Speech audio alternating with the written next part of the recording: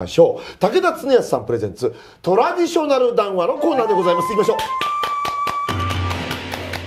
さあ、えーお待たせいたしました、このコーナーでは日本の文化や風習伝統など、えー日本人なら押さえておきたい、えー普段からあ何気なく考えておきたいテーマをですね、えー武田恒康さんならではの視点から絞って解説していただきます、はい。えー武田さん本日のトラディショナル談話のテーマは何でございましょう、今日のテーマはこれです。お正しい、えー節分の豆の巻き方。そうですね。はい、はい。えーそこでですね、えー本編突入前に事前に視聴者の皆様に ちょっとアンケートを取らせていただきました、節分のお豆普段はどちらでお求めになりますか、という問いかけにスーパーという方が68.6%、えーコンビニが6.3%デパート1.6%神社仏閣が8.8%その他が14.7%というえー結果が出ましてですね7割近い方はスーパーで節分のねそうですね。はい、お豆はお求めになっているという回答が、えーご協力いただきましたがこのお結果を受けてですね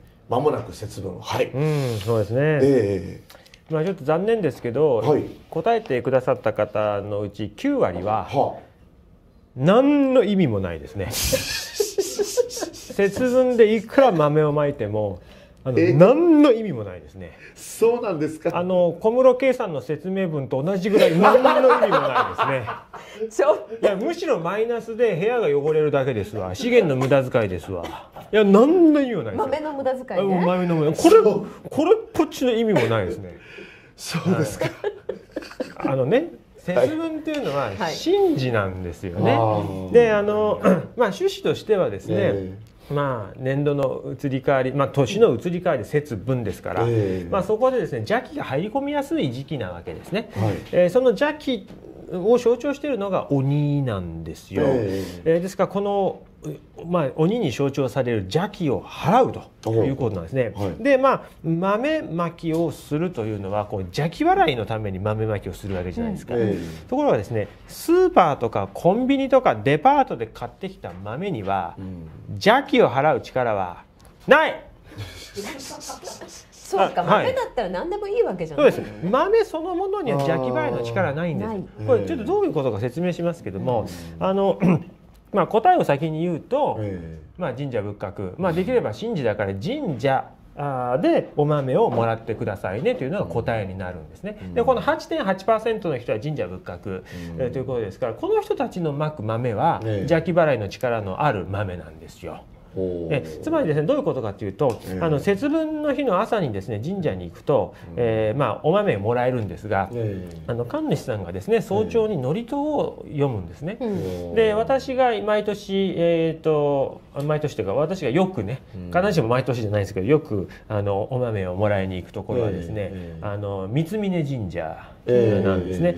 でえーまあ、多くの神社でですね、まあ、うん祝詞をおあげるんですけども、まあ、例えば、まあ、よくあるパターン、まあ、三峯神社なんかそうなんですけども、えー、祝詞のの中で「古事記」の一節の話をするんです。でこれを理解するためには「古事記」の話を理解する必要があるんですけども、えあのイザナキの神とイザナミの神という、まあ、仲のいい夫婦がいて、国生みをして日本列島島を生みますよね。で神々を産んでった後最後に火の神燃え盛る火の神を産む時に、まあ、お腹に深刻なやけどを負ってしまって、それが、えー原因で死んでしまう、ええ。でそして亡き、えー妻に会いたくて会いたくてイザナキの神はついに黄泉の国に旅をしたという話がありますね。えそしてこの時にですねあの、まあ、帰ろうよあ、まあ、すぐ会うことができて帰ろうよって言ったら「いやもう私はもうこの国の住人です」って言っても帰れませんって言うんですね。でももしかしたら何か方法があるかもしれないからちょっと黄泉の神に聞いてきますただその代わり私は向こうに行くので決してここを開けて私を見ないと約束してくださいと。うんということは見ちゃうって話になっちゃうんですけど、うん。これで見なかった話は聞いたことないので、まあ見ちゃうわけですね、そしたら、まあ、あの宇治の湧いた、もう腐敗したイザナミの神の姿を見てしまう。そして、まあ愛する人にね私のこんな、あのーえー姿は見てほしくなかったってことで、まあ、まさに「見たなあ」ということになって「締め殺してやる」って言ってわーっと追ってくるわけですよ。でいろいろあって最後ですね「世物平坂」という現実の世界とつながる坂のところに差し掛かったところでイザナキの神は、あの一本の桃の木を見つけるわけです。あ。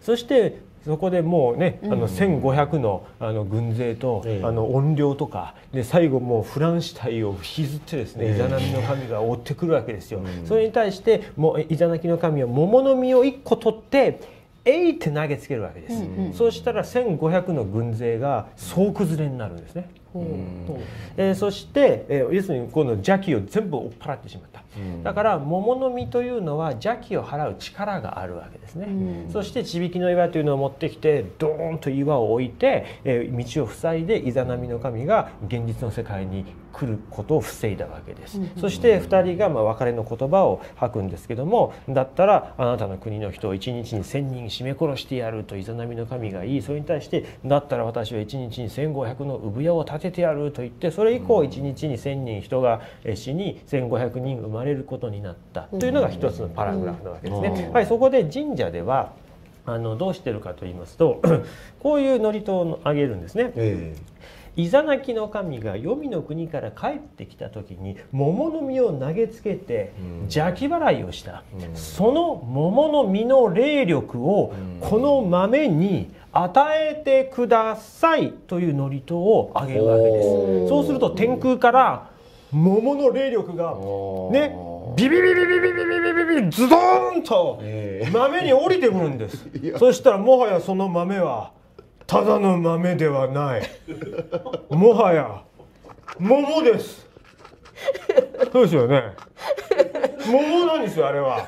なるほど。豆じゃないんですあれは。そうですよねっておっしゃられてもそうですねというふうに相づちをなかなちょっとか現実的なこと言えば。打ちにくいんですけど。桃をその季節になかったり 桃を投げるわけにいかないもんね。そうなんです。ね。だから本来であれば 投げられるものって言ったら豆です。からね。だからその季節桃がないから桃の霊力をええ授けてくれと言うからええで、えー豆にそれでドーンと祈ってそのね神の力を下ろすわけですよ。でそれをご祈祷済みの豆なんですね。これをいただいてきて家で投げるから桃を投げたのと同じ効果があるんです。なるほどね。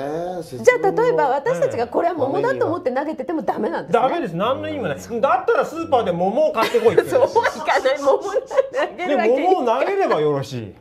桃投げるわけでしょだだ豆からまきはともかく桃まきって いうのはね決まっちゃった桃まきって。桃投げはちょっとね。でだからそれを簡略化して豆なんですね。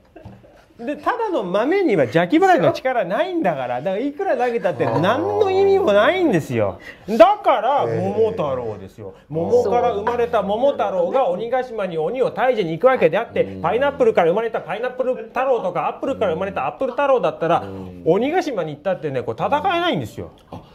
だからあの人心の乱で勝った天武天皇があの家臣たちにその桃を配って、はいはいはい。杉原で桃配り山ってそうですれも桃です。桃というのはそうだけ。でねあのなる3世ね。3世紀から4世紀にあの王王都があった場所、ええつまりまあ初代初期の頃の天皇の王宮と言われてますけどこれ牧向遺跡ですね、ええ奈良のえー奈良盆地にある、はいえー桜井市にある牧向遺跡、えー数年前にですね発掘調査をしたらええ。膨大な桃の実が1箇所から出土してるんですよ。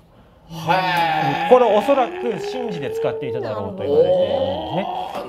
そうですか。そうです。だからあのだからもしねあの朝神社に行けなくって、あもうスーパーで買うしかないっていう場合は買うべきはね、あのまあ桃があればいいんですけども、ええまあ例えば、ええあの桃ジュースとかね、ええ。あ桃の缶詰とか桃の缶詰。ああとは桃の何、キャンディーとか。あありますよ。だからあの香料だけじゃなくてちゃんと桃の成分が入っているもの、ええ。桃のフェットチーネとかね、えーだからそういうのを買って投げた方がまだいい。投げる。なるほど、ええはい投げる、えだから本当はもうちゃんとあ朝神社に行って神社に行ってご祈祷済みの豆をもらってこなき来るのが一番の成功法ななんですね。るほどね。はい、ですからあのデパートとかスーパーとか神社で豆を買っていくら投げてもうん。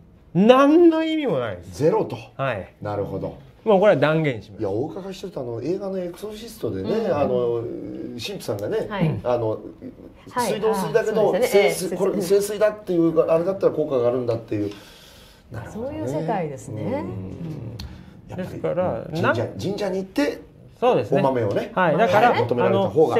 節分の時だけじゃなくて、うん。何か邪気払いしたい時は、ええ桃を投げるっていうのはですね、はい。結構ダイレクトでいいんですよ。なるほど、だから、あの私以前ねほら尖閣のあたりに船で行った時に、ええ。桃投げの儀というのをやりましたけどね。へえ桃も売ってったんですか？桃を投げたんですよ、えはい。えー尖閣の近くでね、うん。桃投げの儀というのをやりましたそれ以来来ない？あの上陸してこようみたいな。やからはもしかしたらちょっと聞いてるかもしれない。ちょっと聞いてるかもしれない。すごい口説ですね、えそれは。あれいつですかそれ？あれはあの騒ぎの後ぐらいです、えじゃああの後はだって上陸しようっていうふ不定の輩はいませんもんね。ですねそうなんですよ。船は来てますけどね。はい、だからちょっと聞いてるかも。だからそろそろまた投げに行かなきゃいけないかもしれないですねうんそろそろね。その時は桃のある季節ですね。そうですね。桃船に積んでって。あの冷凍であのキープしておくのもありかもしれませんけども。なかなか冷凍しづらい果そ物うですね。ねはい。まあ投げるんだったら食べるわけじゃないんでね、うんうんうん。確かに。